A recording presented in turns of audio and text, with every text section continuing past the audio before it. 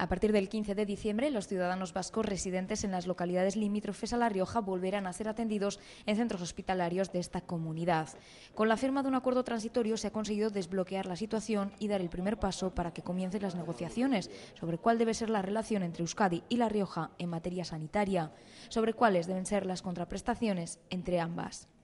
El consejero Rafael Bengoa ha explicado que desde el Gobierno vasco se priorizan las prestaciones asistenciales a las económicas. En nuestro caso, en nuestra relación con todas las comunidades limítrofes que tiene Euskadi, seguimos eh, obviamente priorizando las contraprestaciones asistenciales a las económicas. Si finalmente eh, es necesario razonar en términos de compensaciones económicas, eh, nosotros pensamos que debe ser desde un fondo de cohesión nacional, como ya lo hemos mencionado, y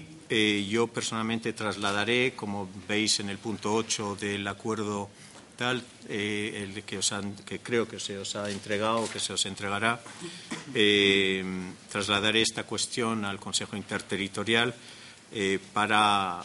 digamos, señalar la importancia que tiene la importancia que tiene crear un nuevo marco nacional para este tipo de cosas. Vengo ha anunciado además que llevará esta cuestión al Consejo Interterritorial para explicar la importancia de un marco nacional para este tipo de cuestiones.